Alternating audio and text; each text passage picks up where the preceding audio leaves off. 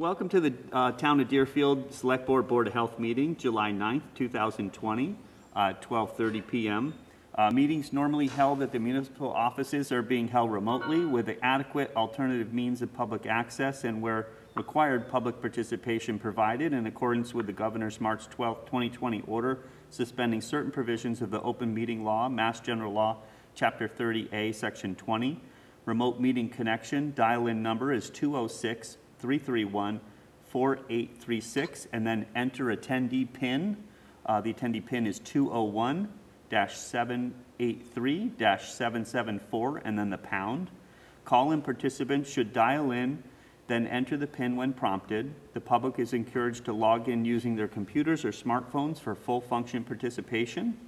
Please use the URL to log into the webinar, um, https semicolon forward slash forward slash webinar dot anymeeting dot com forward slash 201 dash 783 dash 774.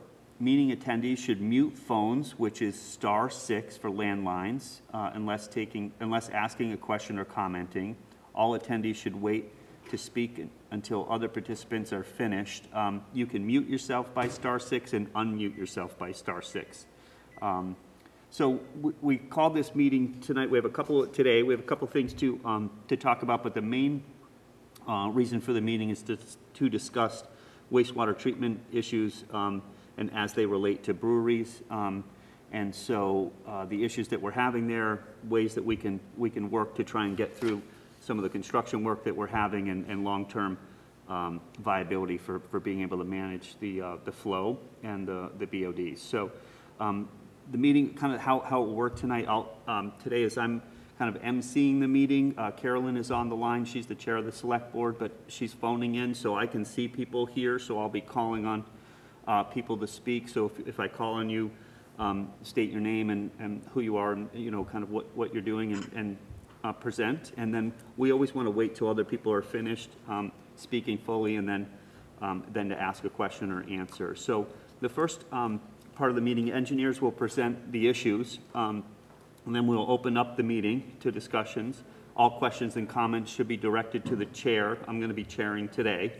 Um, uh, No one is to speak unless called on. Raise your, uh, please raise your hand if using a webcam. Say your name before speaking. So, welcome, everybody.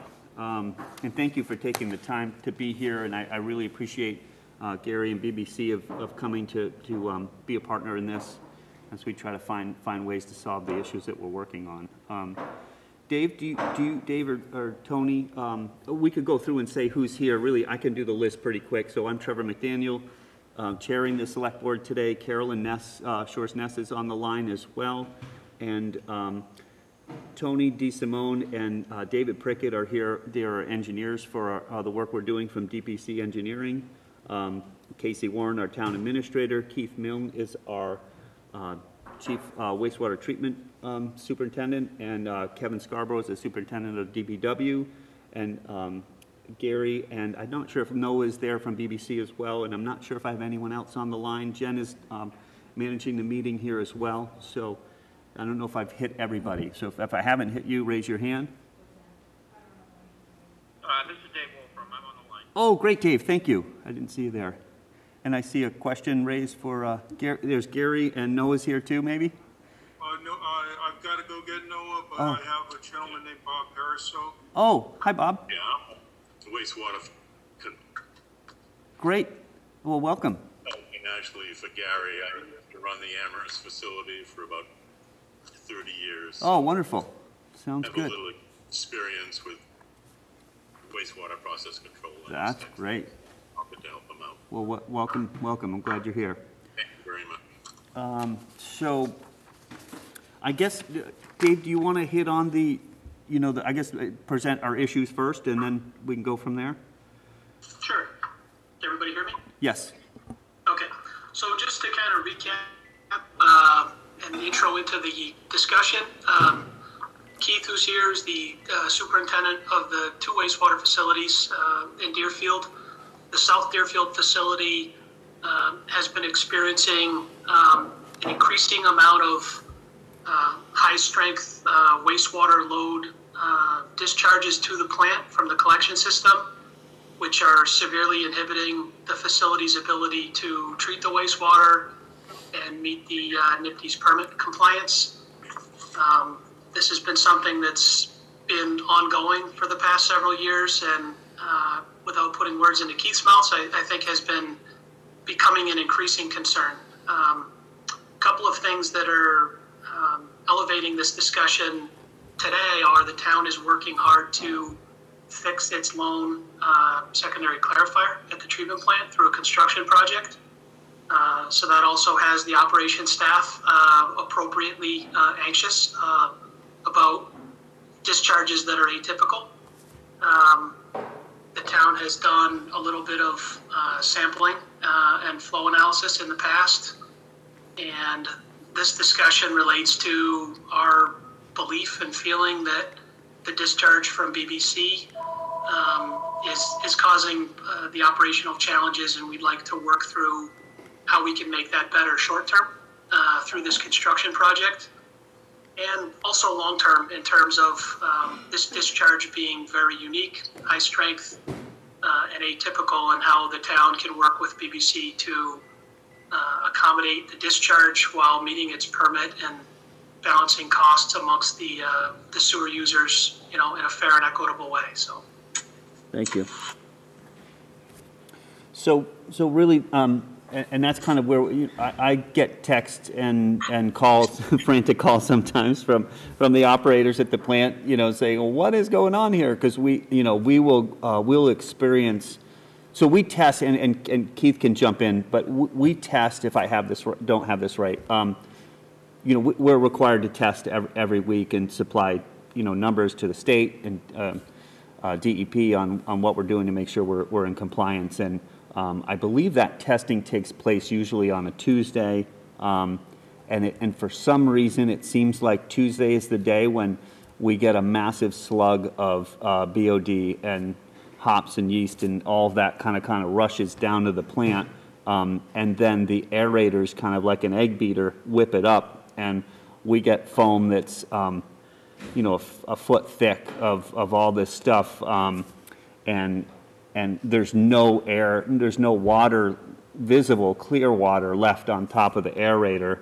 Um, to speak of. And so our, our oxygen goes through the floor um, down to zero, and uh, the, you know, the just nobody, we just can't keep up with it. And then if we get, say we get a thunderstorm or something like that, or another big flush of, of water coming through, that pushes into our only clarifier, which is broken at the moment, um, and then on through into the contact chamber and out to the river. Um, and, and just the quality of the, um, the water, you know, usually by, by the time it gets out to that contact chamber, it's, it's pretty clear. Um, what's going out to the river lately is just horrendous. I mean, I have videos I can show you, just in the, in the testing tubes are uh, just cloudy as, you know, all the suspended solids are there. The only, um, and I think there has been, and maybe Gary, uh, can, can weigh in on this too, and I think there's been a change in how brew has happened um, over the years. And um, you know, before you would have you know hops that would go in, and you would then, and I'm no brewer, but you would you know you would use the hops and then you would take them out. Um, and and nowadays a lot of the brewing I think is done by pelletized. So that that hops doesn't get pulled out; it just kind of stays in that water, and that's kind of what while we've been seeing the, this foam and stuff uh, for many, many years, um, the strength and the, the amount of it in the last few years, and it may be because of a change in, in what, how, how, brew, how beer is brewed, it, it's just so uh, suspended solids are in there, and the only way to take them out is by, um, you know, bugs biologically kind of attacking that and, and then dropping them down. And so there's no way to kind of sift them off or screen them out. They would plug any kind of filter in a second flat. So we're really concerned and we don't really know how we're going to get through the, most, most treatment plants have two clarifiers, so you can go one to the other when you're working on the other. We don't have two. We only have one, and that one's broken. So we've, um, under an order from DEP, are, are, have gone out for a bid, and we have a clarifier being made. That circular clarifier is going to be taken down late, late summer in fall.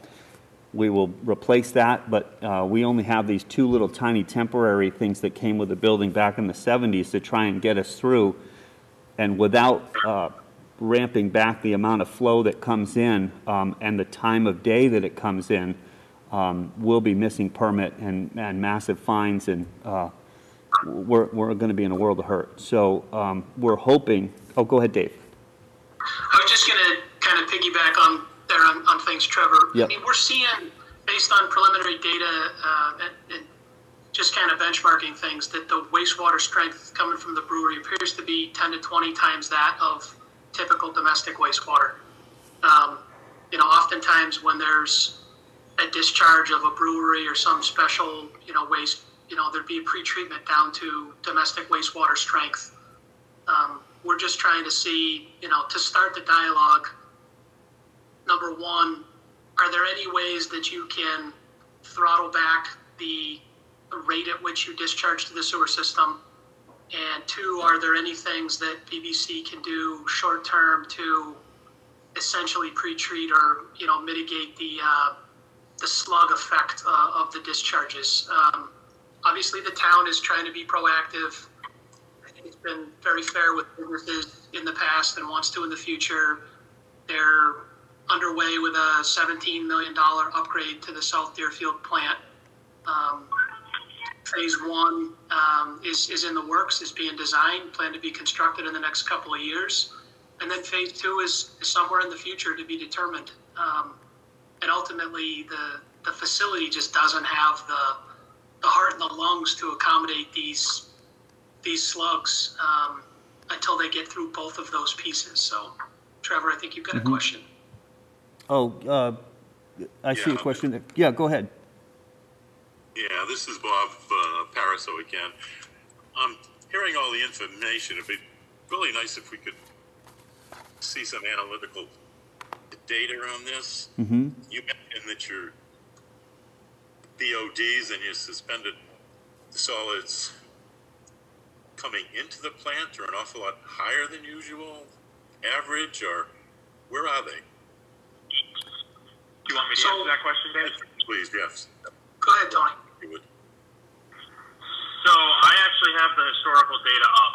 So just to give you the month of October 2019, BODs coming in, October 8th, we had 680 milligrams per liter. BOD coming in, October 15th, we had 1,020 milligrams per liter. BOD coming in, October 21st, we had 508 milligrams per liter.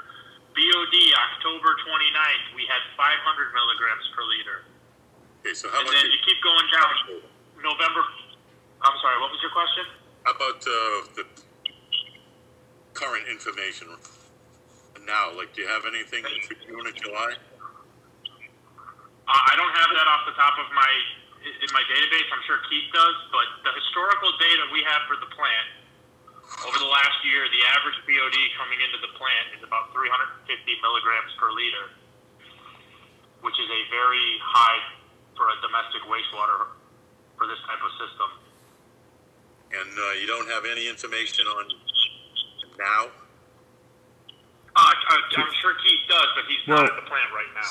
This is, He's got a whole dead But this is what, you know, I don't know if you can see that, and it's probably hard over the phone. this looks like razor That- sharp, crystal clear.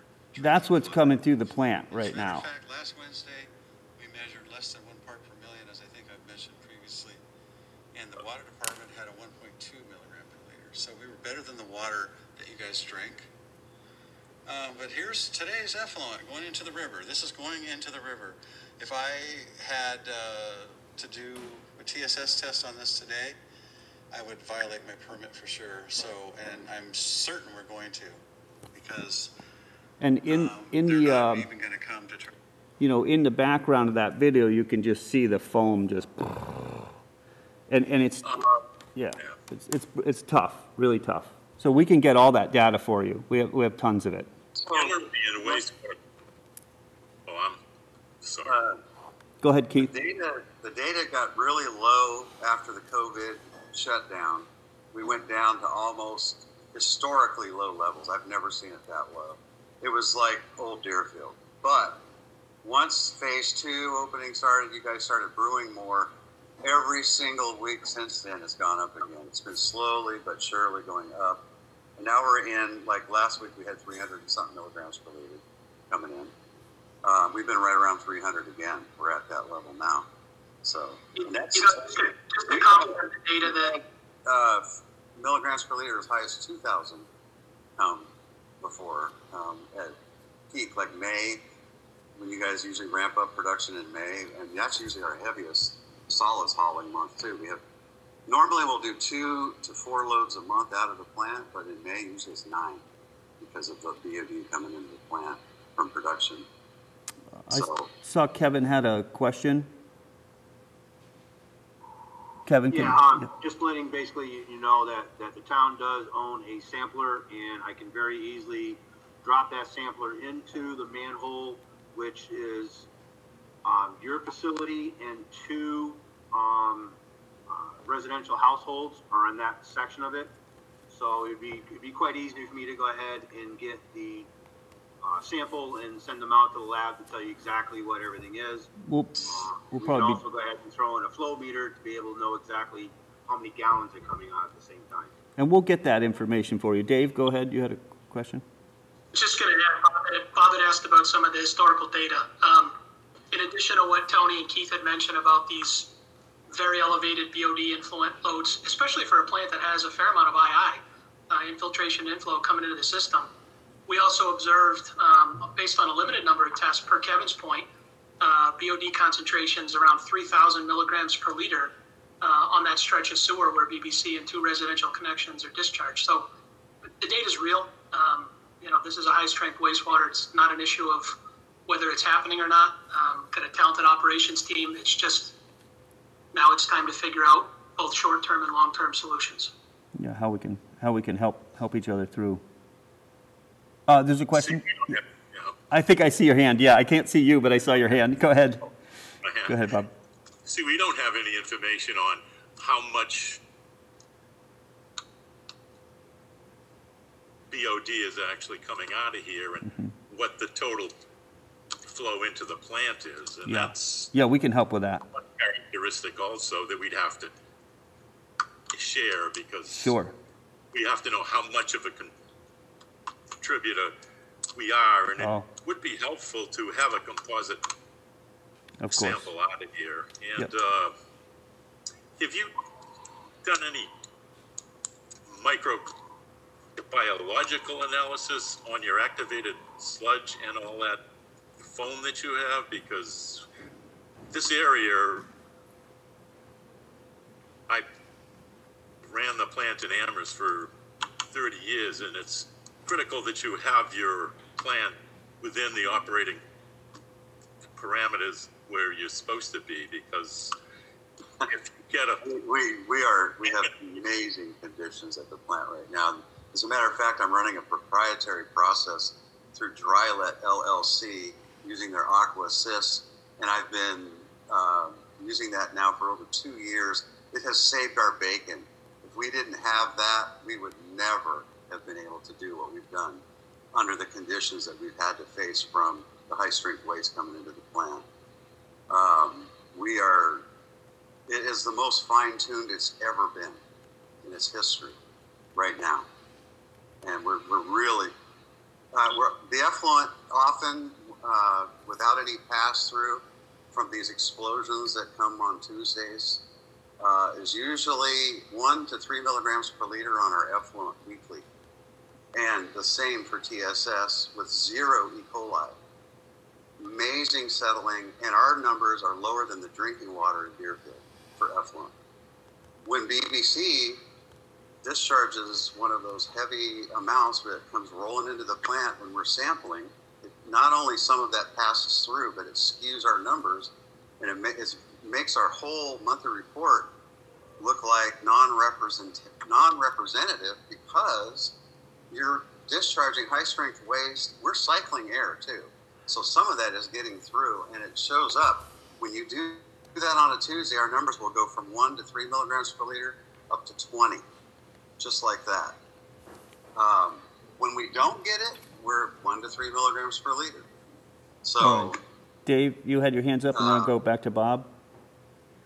I, I just want to li- listen. I mean, we work for about 20 to 25 of the Western Mass communities that have, you know, treatment plants, and Deerfield gets 10 pounds out of the five pound bag every day of the week. Um, Keith has experience running much larger, much more sophisticated plants in the mid Atlantic. Um, this is not an issue of this plant not performing adequately. It's it's redlining because of these loads coming in. I think we really need to focus. We're happy to, as Kevin said, uh, gather some supplemental flow and constituent uh, concentrations and loads to share that. But in the meantime, for BBC, we need to understand what can you do now uh, to help attenuate the rate at which you discharge, and is there anything you can do to help pre-treat prior to the discharge uh, to the municipal sewer system? That's really where we need to start today. Go ahead, Bob. Yeah, I'll let uh, Gary speak to this, but in our conversations, I mean, I don't know an awful lot about brewery, how it operates, you know, but he told me that they have three reactors. One reactor you add the grain into, and that the ferments. Then the one after that you add the hops into, and he removes a high percentage of the hops after he's through in that reactor, and a high percentage of the grain in the fermenter, and that is all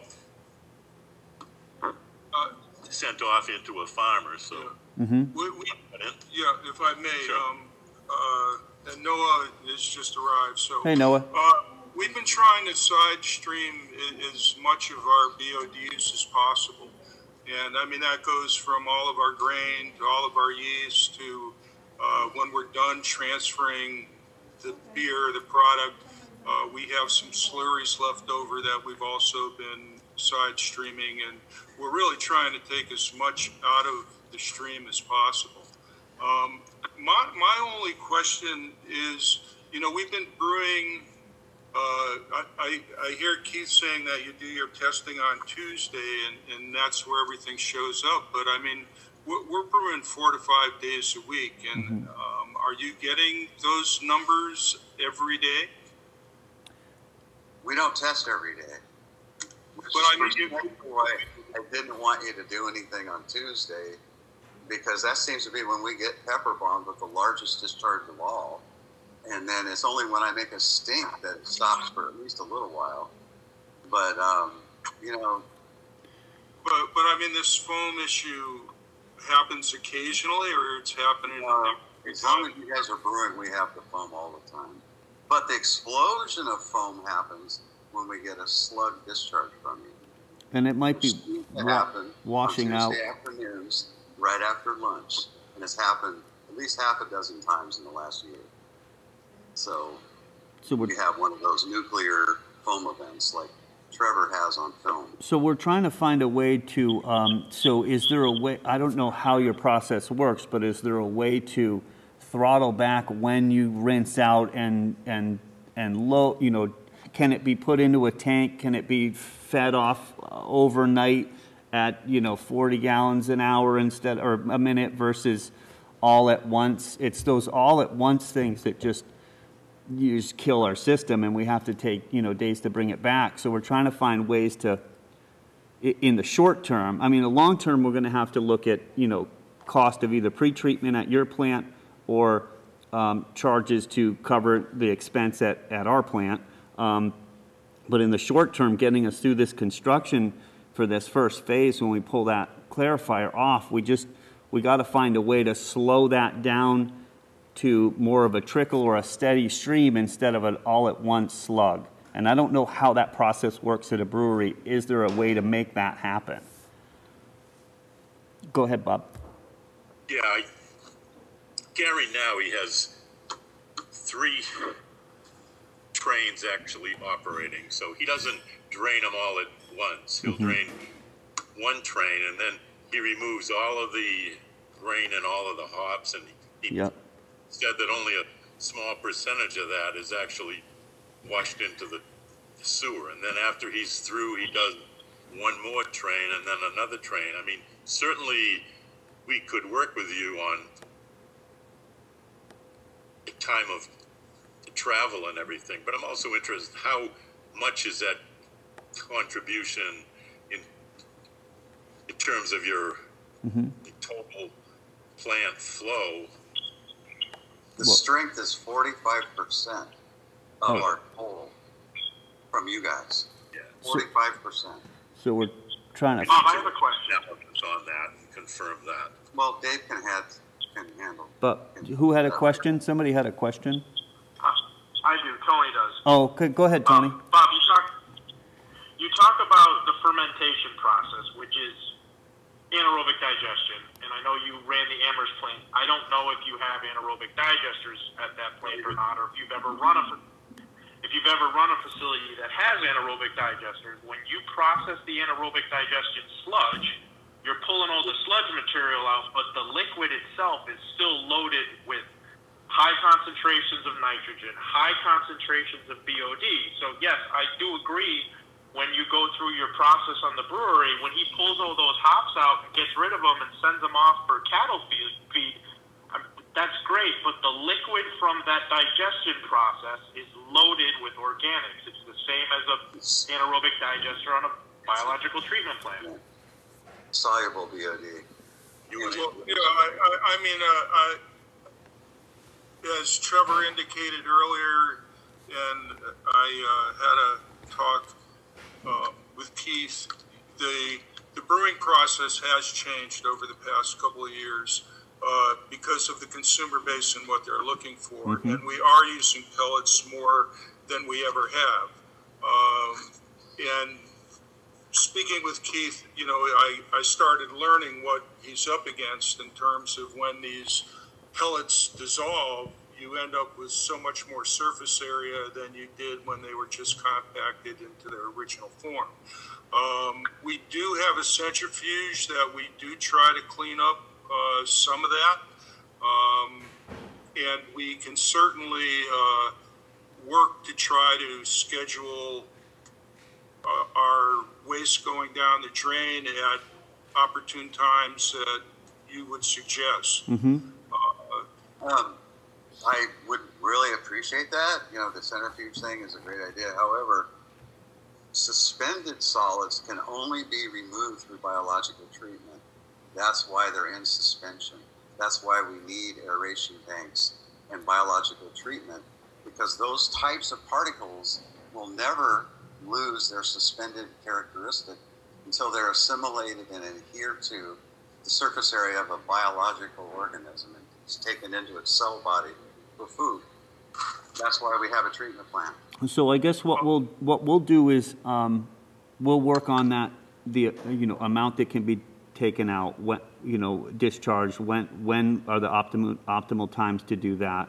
Um, you know, cost structure, all of that, we're gonna put together in the next, um, short while here. And then we can get, you know, we'll do the sampling as well, so that you know at the plant and, you know, at, at, um, at the manhole, what we're, what we're dealing with with flow and concentration, all of that stuff. So, um, I think that's just gonna be, you know, we're just gonna have to work together over several, several meetings here to try and come up with ways to try and get us through the short term and then look at long-term, how, how we handle, you know, what strength comes out, what we can handle, you know, until our plant is up and running. Um, um, It's, it's going to be, it's going to be a a rough ride through the summer and the fall.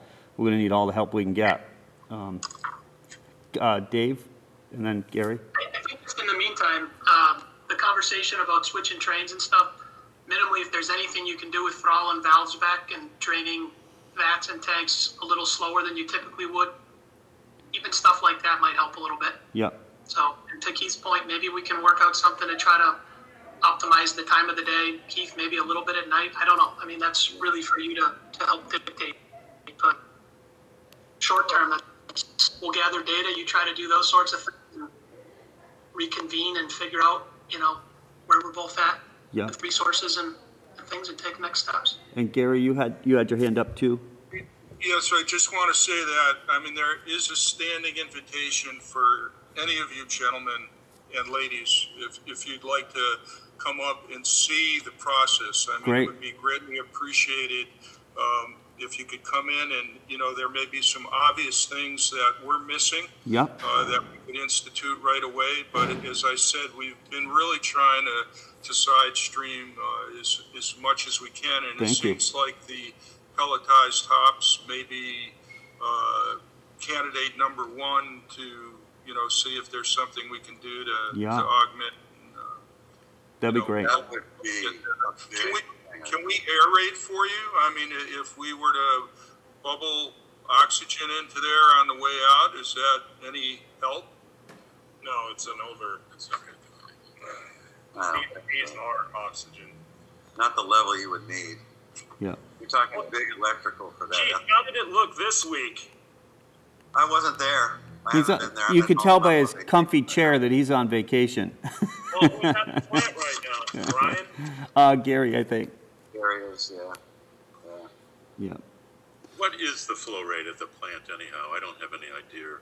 We average normally about 400,000 uh, a day on normal flow. Right now it's low because we've had kind of a drought condition. And then recently we've had some rain, so it's kind of back up. It's floating around 300,000, 320 right now. But we've been as high as 1.2 million. Uh, Really? Yep. yep. Uh, when we get a lot of rain, like what, what was it last year or the year before, where it rained from July all the way Mhm. through to into the fall, we were up. We were float. We averaged, I believe it was nine hundred twenty thousand for that month, for one of those months, and that's over our design. I mean, our design is eight fifty. So, yeah. Uh, but normally four hundred thousand, about half our design flow is our average, and that's with the I&I we had, the I&I issue we had. Do you know what your F to M the ratio is, or your Um, no, just, it, that's a floating target, and we don't operate that way. Uh, we don't operate by up what do you operate on? We operate on Control parameter. what's that? What is your con- control parameter? Basically, sludge age and somewhat F to M, but uh, a lot of visual too, and historical. I know right where my mixed liquor needs to be, for the most part, during certain times of the year, um, in order to treat just about anything that comes in. And right now, I have quite a latitude because of the bugs I'm using, allow me to run a much higher mixed liquor for a relatively low strength sludge. But I have to because I never know when I'm getting a BBC superpower sludge. So I have to have enough bugs to handle that while at the same time maintain not too much because when you guys don't discharge on a regular basis, again, we have our, our BOD goes down enormously, which I saw because of COVID, the shutdown. So I, That, I, was, I think that, um, you're, Bob, you're to in, answer that question, go ahead. hold on. Sorry. I was going to say, Bob, to answer that question, the plant typically operates uh, on one aeration basin with an, a solids retention time of about 10 days. Okay, is that your sludge age, or is that your MCRT, or? It's an aerobic SRT, Yeah, So, so only the only the volume in the aeration tank. I'm not taking into account any volume in the clarifiers, and that's basically just based on yeah, uh, we uh, keep BOD much removed. We keep a foot or two at most for a facultative zone, and even that's not needed because recycling air, we create a facultative zone every other hour. So, and we're So this, we this is nitrify and denitrify most of the time with no zoned aeration, just one egg beater. We're doing that. Have you looked at so your, when you guys were If I look at have what? you looked at your microorganisms? Am Yeah, we got a nice healthy population, really nice healthy population. Do you It's have any filamentous, or? We have a we have a little bit of that. Too, yeah, a little bit, but not much. Just enough to help uh, grab enough and clarify and, and, and do a nice settling. The settling like I've never seen before. What is the settleometer after a half an hour? Do you remember? Well, that's that depends on how much mixed liquor I decide to carry in the system, and that goes up with my concentration. But normally, for us, a normal SVI is considered high by most people. Our normal SVI is 150. That's what we run, a 150 SVI.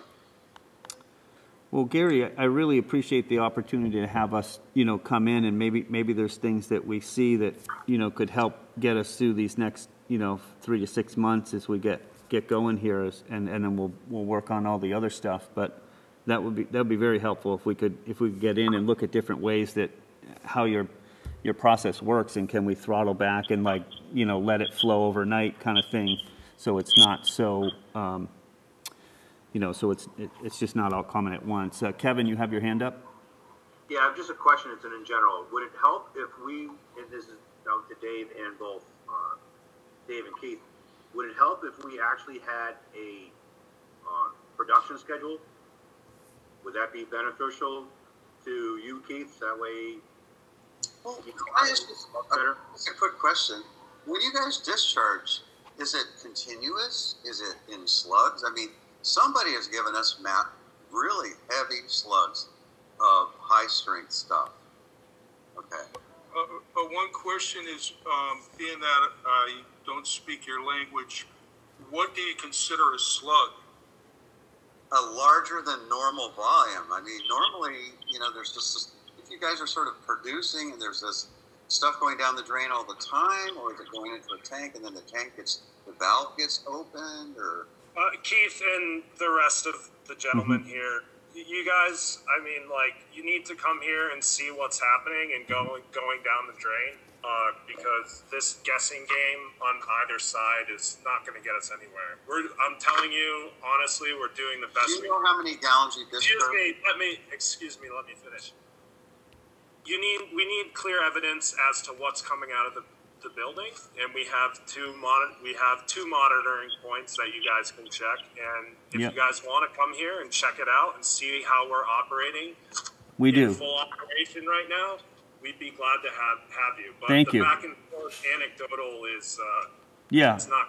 No, we'll get, we'll get you all that information, and we'll have all the data, and we'll come up with the, with the pricing and, and, and plan going forward. That's no problem. I appreciate the opportunity to get in and see how you're doing. Maybe there's things that we see that we can help, you know, adjust that flow to get us through these next three to six months. That, that'd be wonderful. Um, okay. Um, So, just, well, oh, go ahead, Gary. Uh, Sure. It's, uh, the volume of flow is one issue, and then BODs is a second issue. Are Well- they tied together? They're, ti- I would say, you know, just speaking from a layman's term here, it's, it's, a lot of it has to do with the BOD level. It's not so much what, how much comes in. I mean, it's tough when it all, I mean, if, if it was all clear water all at once, no problem. But if it's, if it's large chunks with heavy laden material, that's when we get the problem. If it's, heavy is difficult to deal with, but if it was at a slower rate and more consistently like drained, then, then we can handle that better. It's just the, it's the high volume, high strength kind of all at once that's really tough. Uh, help- And there were Um, no you know- problems reported this week. Because we've been in full operation this week. yeah. Have there been any reported issues? Well, it's, it, it's a constant, no, it's constantly going on. So, yes, I, I, I don't have the, you know, the video from this week because Keith's on vacation, but I got a video every week, pretty much. So, yes, uh, I'm sure it's still happening. We, we can get you all that. I mean, really, the key, like you said, Noah, the key is to get you that data and, we'll supply all that for you. Yep. This is, this is Carolyn. Hey, Carolyn. I just, I'd like to, uh, yeah, hi. Um, I'd like to follow up, um, with Kevin's suggestion of the production schedule, because that makes really a lot of sense. Um, and then we could, you know, because there's different kinds of beer that would maybe have different kinds of levels of stuff. Mm-hmm. Um, Yeah. This would be, you know, and, and if we could narrow it down to, you know, what is the biggest offender, maybe there'd be a way to bleed it off and take it up to, um, the digester at Melmix or something like that. You know, some, maybe we can come up with some alternative to address it. So I, I think the production schedule, a visit, site visit would be helpful. And then, we'll- and then we'll get you data as well. I think a, a next step is just the exchange of data. If we get some information from you on production schedule, and then we can visit and help and look at how, how you get rid of things, and then we can supply you with all the data that is coming out of the, out of the facility and, and, and at our plant, so we can correlate both of those. Um, that seems like the best next Right. step. Think point source observation out of the brewery would be the ultimate. Yes. Uh, you know, jury's in, guys. This is what's coming out of our our building. Yeah, yep. And We have some of that, but it's a little bit, How many times it happens every and day? that all Yeah. has to What the be, BOD yeah, that Of has course. to be statistically analyzed, enough, you know. yes, we give you all that. That's fine. And uh, unfortunately, I don't think the burden of proof falls on us for that, according to the uh, the. Uh, Well, we're not worried about that right now. What we're trying to do is come up with a solution. So we all need to get together on the same page. It's not, I understand. Yeah, but I mean, asking us not to um, produce any given day of the week is potentially putting us in, you know, a very bad shape for business. Yeah, and it's a, it's, costing us a lot of money. we're If we're just, just like that. We're not asking that. All right, let me, so just let me mediate.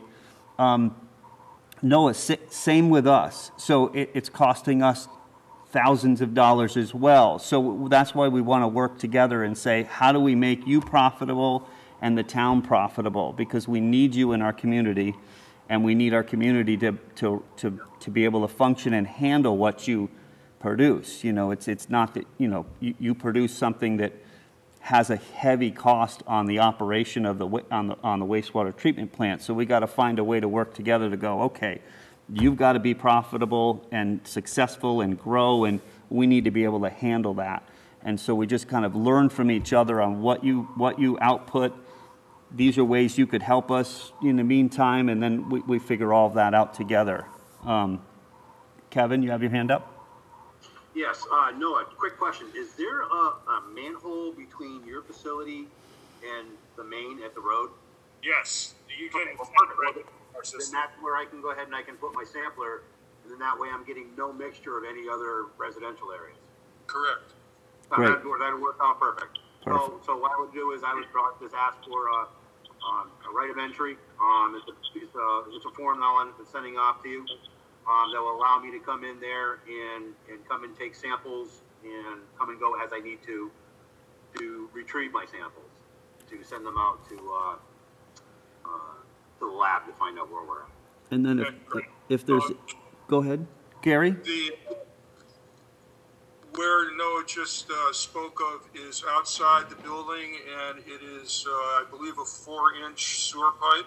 Is that going to be big enough for you to get your equipment in? Yeah, got a thumbs up from Kevin. Yep.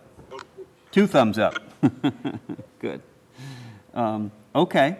So um, any other questions anyone has? I mean, I think the next step here, we'll call another meeting, of, uh, but, but in the next, you know, short time, we'll, we'll get some things together. We'll maybe visit if we can and um, get you data and you give us data. We'll, we'll kind of work at this together from both sides to try and find a solution.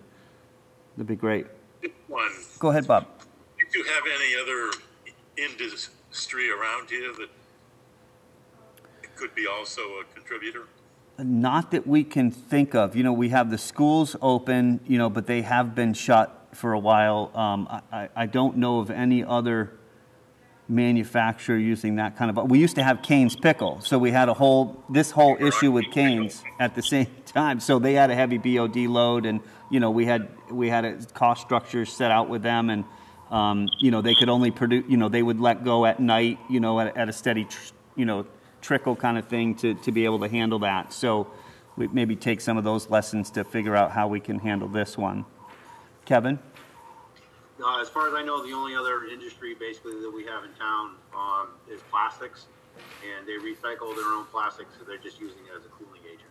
Okay. Um, most of our, our, you know, we, we did go through, um, I'm gonna say a year ago, and basically we visited every place that's got a grease trap to make sure we don't have any problems with grease. Um, you know, we've, we've been trying to do our due diligence to make sure that we've looked at the different contributing factors, um, and we really haven't been able to come up with much.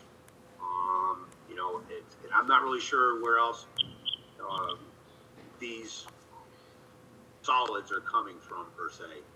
Um, but you know, basically our industry in town is you guys and, and plastics and uh, a handful of restaurants, and the rest is, for the most part, pretty much uh, residential. Yankee Candle? No. No. No, no production here. Uh, Not only that, when those slugs come in, it smells like IPA. It smells like whatever it is. You smell it. I mean, it's no. I think. We have to see where it's coming from. Bob's got his hand up again. Yes, in uh, terms of grease and oil and all of those things, his, historically the, the brewery industry is a minimal con- contributor to that. So Right. Not much grease. Yeah, exactly. Yep, Not much oil or grease or any of those Right. things. So That's right. we'll work on our end to Thank you. big, big, what I was just trying to get at is, is, is we're, we're, we're looking at everything, is what I was trying to get at. Is We're Yeah. not, we're, we're not trying to focus just on you, because we're not, by no means, and I hope I'm speaking for the town, is we're not trying to put you out of business by any means, we're just trying to be able to see what we can do, work hand in hand to be able to make this thing work for both of us. Mhm. Uh, you know, because, you know, obviously, you know, we love having you in town, um, we really don't want you to leave, um, you know, but we have to make sure that, that, you know, we don't get ourselves in trouble either. So, so when I, when I say that I'm looking at everything, and I'm not saying that you guys are producing the grease, I'm just letting you know that we, I have gone as far as I possibly can to, to investigate where any type of discharge could be being put into our system, which ends up down at Keith's plant, is all I was trying to get at. Deerfield's plant. Trevor, I have a question. Yeah, go ahead. Um, Bob, you said you used to run the Amherst facility, correct? That's right, yeah. So when you would have school in versus when school was out, would you notice a substantial change in how your plant, what's coming in, and how the plant operated? It was a nightmare. Our Loading would drop in half in January and in the Oh, yeah. summer, so we would have to take half of our tankage offline. That's the reason I'm asking about the F to M and all those things. We would have to immediately react.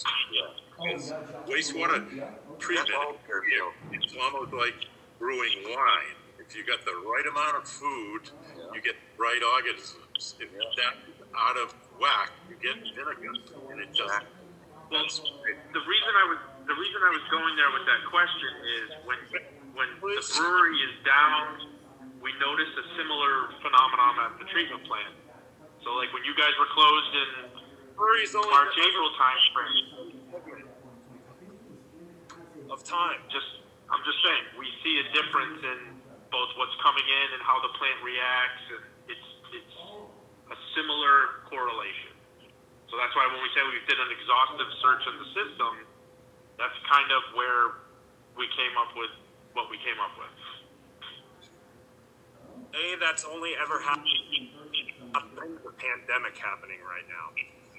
Everything before this pandemic, we were up 25 to 30 percent every week, dropping BODs down the drain at a level that is like non-existent now. Like everything we do is pretty much side stream. Any any solid, yeah, there's some diluted, soluble BOD, but I mean that is pretty much it. And this is since when? Well, if you were there this week, I'd like to see what's going on in the week Oh, so before. it's just this week. Okay. All right, that makes sense. But here, here's what doesn't make sense is that we don't have the data. You don't have the data coming out of our point source. And I mean, Oh, we do have the data. We do. you do? Oh, okay. We have lots of data. I mean, oh my God, that's all we do is generate data. Sorry about We that. need to work on each band of Wow, term, Okay. that's quite a statement. low rate, All right. So, um, D level, everything. I think we need to do some homework. yeah, great. Uh, We'll give you, we'll give you our info. Um, we'll take yours. And, um, any, any other questions? Uh, Carolyn, do you have anything? You got enough? Okay, good. Um, sorry, I had to step away for a minute and grab a call. Um, fine, Trevor. I just, I just want to make sure we're facilitating sharing of everything. so Yes. We can all put our minds on. Absolutely, it's a hard, hard issue to deal with, so we got, we got, we got to use everybody's knowledge to do that. So, um, well, thank you all very much. I know we have, uh, and this is a select board meeting, so we do have, I think, one other item that Kayce wanted us to hit on, so if you could hang on, uh, Carolyn, or anybody else is welcome to stay, but I really thank you for your time today, and we'll, we'll get back in touch um, shortly and, and work together to try and find a solution here. Thanks a lot. Thank you, Gary. Thank you, Noah. Uh, If you want to call me to schedule a meeting Oh. or a tour operations, please Great. call me direct. Uh, Thank you so much, Gary. I really appreciate that offer, and thank you, Bob, for being here. Um, Thank you, Noah.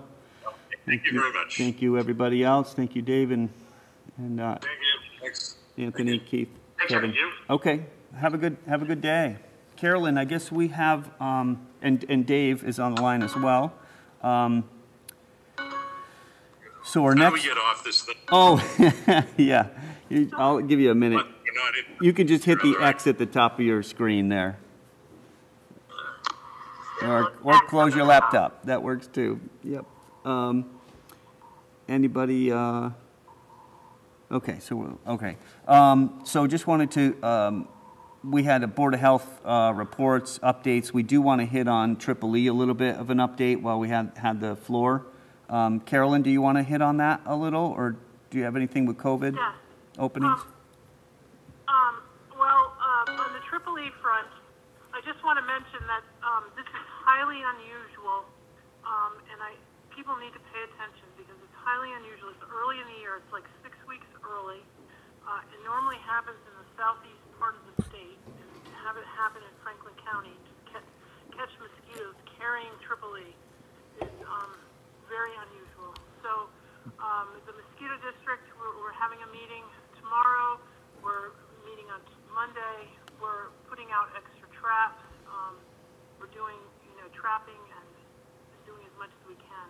Um, what is also unusual is normally your melanura and Culex mosquitoes are the bad ones, and they're the ones that carry the disease. But it's perturbans that were both caught in Orange and Wendell. So, um, those are normal, like sort of nuisance mosquitoes that are very common. So we're, we're trying to figure out That's a little what- frightening. what this means. Yes, what this means. So the community really needs to make sure that they use bug spray and um, patrol yards and dump the water and, you know, that kind of thing. We'll have Kevin, because we have had rain, Kevin will have the highway crew, you know, putting out the BTI discs, you know, the little dunks in the catch basins and um, you know, uh, we're doing treatment behind um, Old Deerfield, which is usually a vector there. So um, we're doing some kind of action, but people, again, just like wearing masks, washing your hands, and keeping watching your distance between people. This is going to be one of those summers, I think, where we're all going to have to pay attention.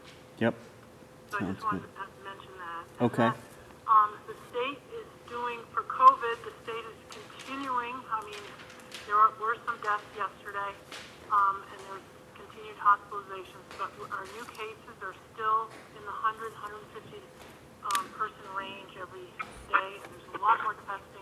Testing level, you know, the infection rate is still very low. Good. So um, it's circulating, uh, but people are paying attention. So continue to wear your mask. Three Yes. W's: wear a mask, watch your distancing, and wash your hands. thank you.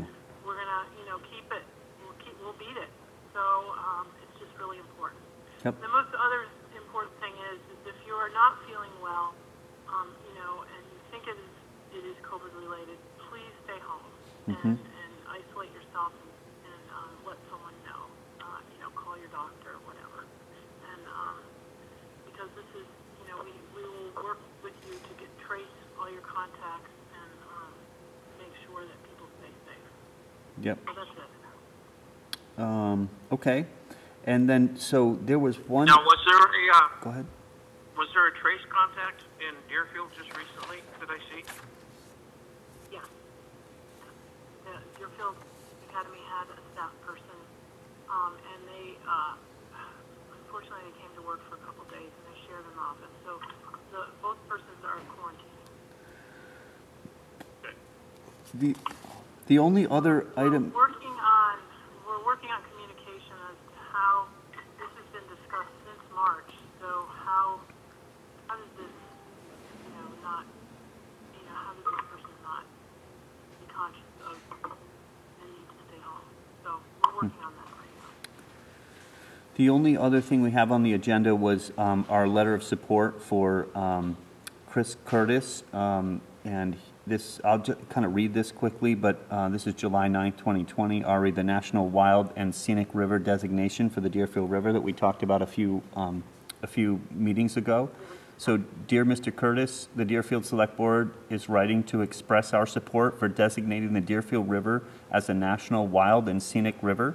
On May 20th, 2020, the Deerfield Select Board met to discuss this issue and voted unanimously to support seeking congressional authorization and funds for a planning study to elevate whether Deerfield River can be designated as a national wild and scenic river. The Deerfield River is one of our region's most beautiful and special natural treasures, and it helps define the character of the town of Deerfield. The Deerfield River deserves national designation for many reasons. It features perhaps the best whitewater boating and rafting in Massachusetts, some of the best uh, dry fly fishing or wild trout in the east, and has great historical significance with the Mohawk Trail, uh, a principal historic Native American travel route running along the river. We understand that designating the Deerfield River as a national wild and scenic river would protect the river from federally permitted dams and provide much-needed federal funding for river management. We look forward to working with the Deerfield River Watershed Association as this process advances to protect the Deerfield River. Sincerely, Carolyn Shores Ness, Trevor D. McDaniel, and David W. Wolfram, Deerfield Select Board. So I'd make a motion to, to sign this letter. I will second it.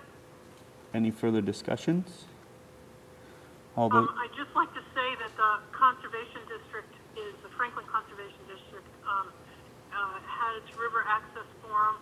We're putting together the report, and we're hoping to be the basis of a ten to fifteen million dollar ask to, um, help, uh, improve the river access up and down the Deerfield River, like the Stillwater Bridge Yeah. area.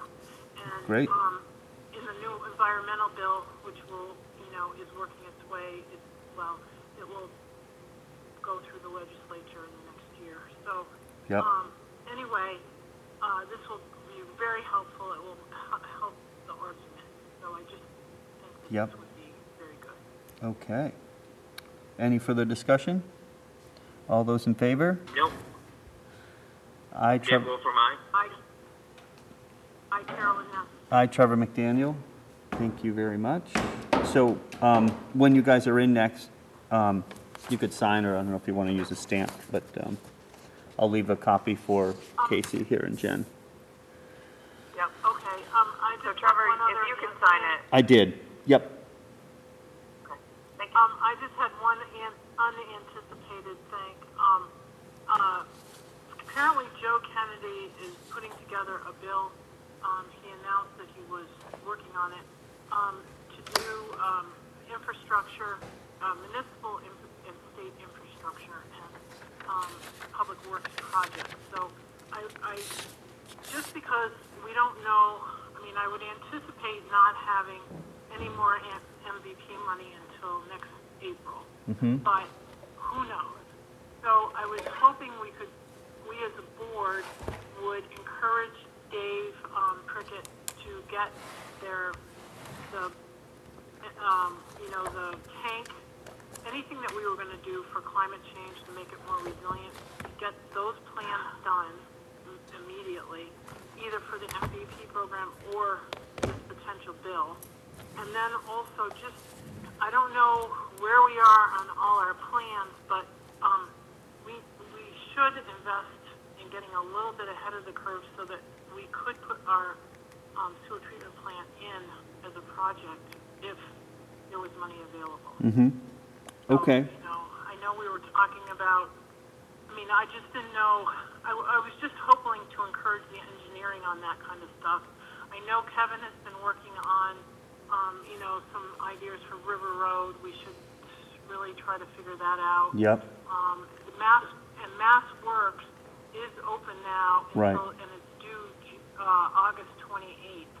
So, um, you know, we were successful getting the Mass Works, um, grant last time because River, we, you know, presented the River Road as a vital north-south route if, um, you know, uh, Route five was shut down or ninety-one was shut down and all that kind of stuff. So, um, I, I would say that that would be, our, you know, we should use the same argument.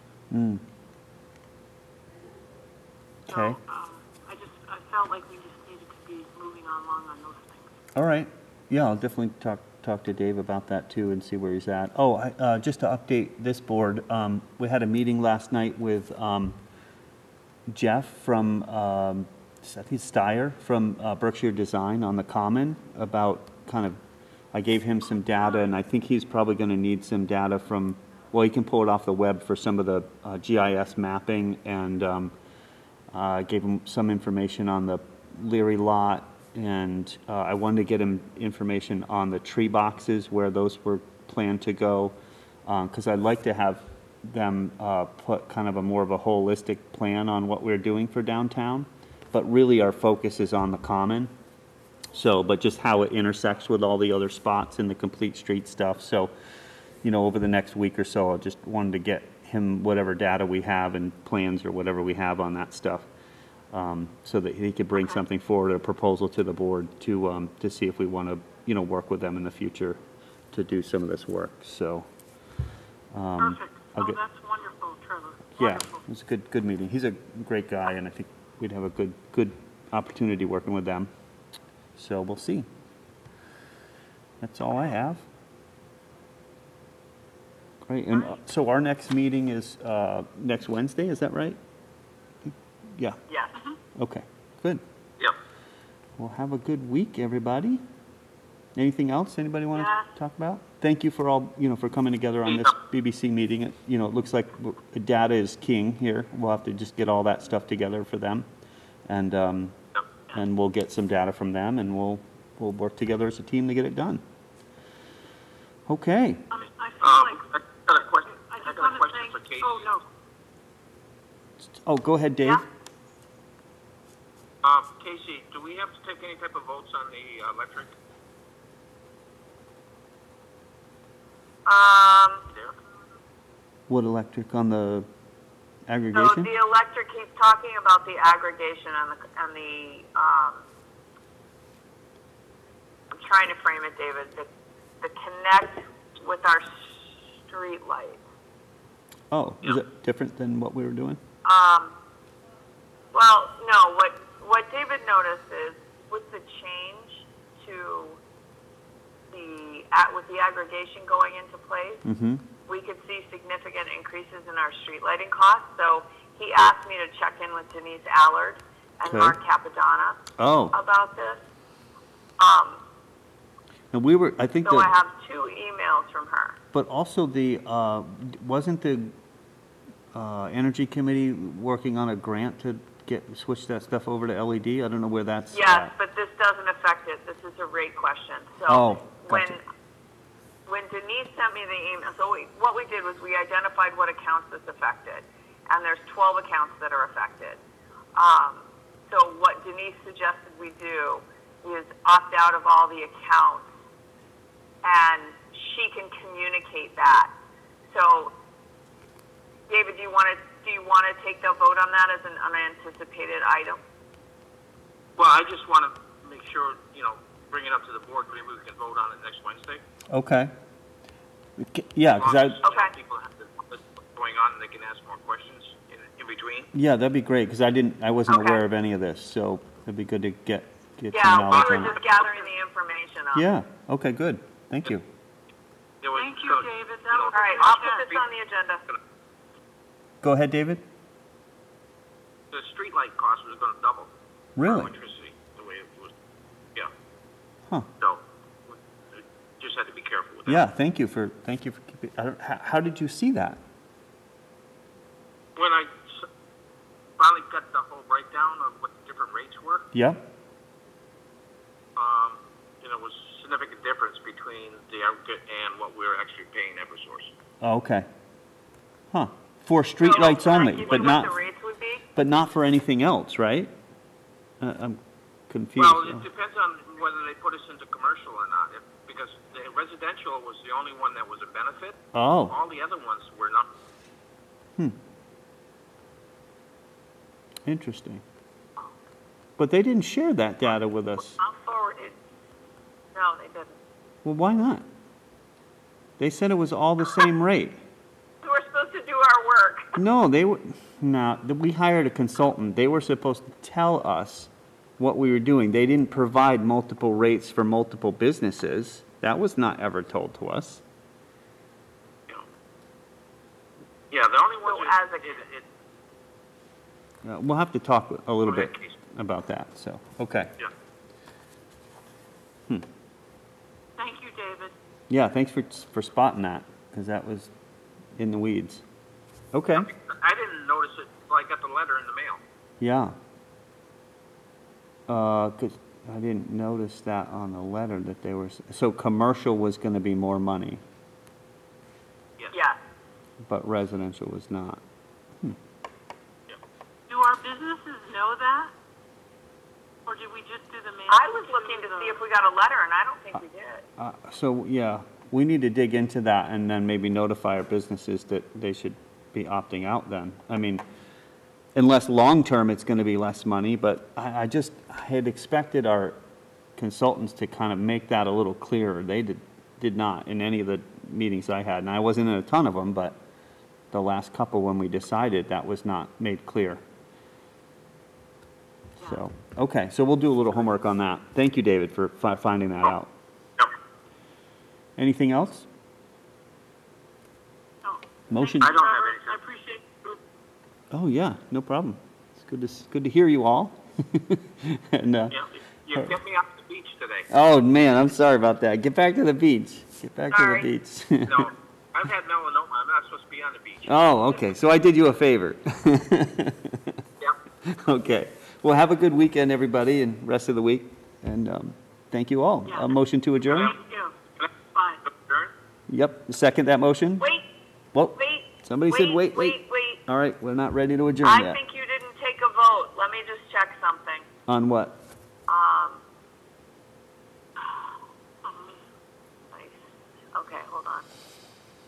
We get talking. You did finish the I don't su- think- support. Yeah, I know. Yeah, I we was did vote Trying on the to support. make sure that we got all the votes that were Yep. open. So the support letter was voted. Yes, And then we did it. David asked about a motion. Yeah. And I'm going to add the aggregation question to the agenda for the 15th. that's perfect. Yep. Okay, thank you. All those in Sorry. favor? Aye. Aye. Carolyn. Aye, Trevor McDaniel. Good. Okay, well, have a good week, everybody. Take care. Bye. Thank you, Trevor. Thank again. you. Bye. Bye.